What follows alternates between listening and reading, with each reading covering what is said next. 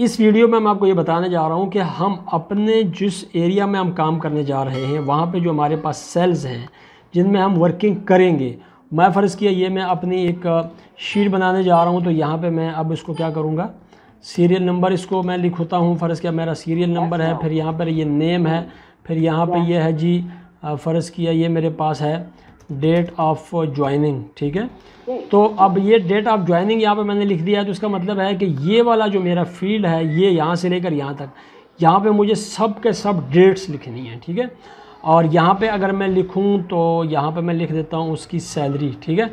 तो अब मतलब ये है कि ये जो ये वाला एरिया है यहाँ पे मुझे इसको डिज़ाइन करना है आ, जो हमारी करेंसी है उस मुल्क की जिस मुल्क के अंदर हम बैठ के काम कर रहे हैं उसके मुताबिक मुझे इसको डिज़ाइन करना है ठीक है?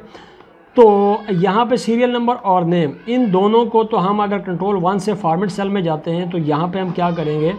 इनको हम जनरल में ही लिखेंगे और इसके लिए कोई इस किस्म का कोई चेंजेस नहीं करेंगे, क्योंकि ये जनरली हम इसमें डाटा एंटर करने जा रहे हैं। लेकिन ये डेट में जब हम जाते हैं तो यहाँ पर हम क्या चाहते हैं?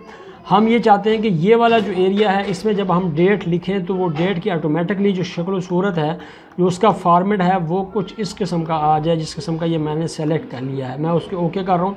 अब देखें, मैं इसमें डेट जिस तरीके से मर्ज़ी लिखूँगा। नौ अक्टूबर मैंने लिखा है और 2021 लिखा है, लेकिन वो क्या कर रहा है? अक्टूबर नौ 2021 कर रहा है। क्योंकि हमने पीछे फॉर्मेट क्या दिया हुआ है, ये आपके सामने ये वाला फॉर्मेट जो कि हमने कंट्रोल वन के बाद नंबर के उसमें टैब में गए हैं और फिर कैटेगरी के टैब में गए हैं और यहाँ पे हमने टाइप में से ये वाला जो फॉर्मेट है, ये हमने सेलेक्ट किया हुआ है। तो इसको अगर हम नीचे तक ड्रैग करेंगे तो ये आप देखेंगे कि यहाँ पे ये तमाम के तमाम जो डेट्स हैं, वो इस किस्म की, इसी जो हमने फॉर्मेट दिया, इसी फॉर्मेट में लिखा जाएगा। लेकिन अगर हम फॉर्मेट को यहाँ पे चेंज कर देते हैं, फ़र्ज़ किया मैं ये वाला फॉर्मेट सेलेक्ट करता हूँ तो अब आप देखेंगे कि फॉर्मेट जो है वो चेंज करने से डेट की शक्ल सूरत चेंज होगी। अगर मैं ये वाला फॉर्मेट सेलेक्ट करता हूँ तो अब देखें आप ये वाली शक्ल सूरत चेंज हो जाएगी। अब सैलरी पे आते हैं। मैं ये चाहता हूँ कि जैसे ही मैं यहाँ पे फ़र्ज़ किया इसकी पंद्रह हज़ार रुपये सैलरी लिखूँ। पंद्रह हज़ार रुपये सॉरी पंद्रह सौ नहीं, पंद्रह हज़ार रुपये सैलरी लिखूँ।